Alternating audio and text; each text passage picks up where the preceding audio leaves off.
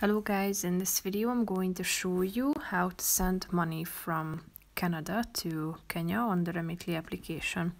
But first I just want to mention, don't forget to subscribe to my channel because at 100,000 subscribers I am going to show you my whole YouTube revenue statistics and growth strategy, how to make money online. Now let's jump into it. First of all, open the application on your phone, tap on the flag icon in the upper left corner and then type in Kenya into the search bar tap on it and click on get started at the bottom of the page.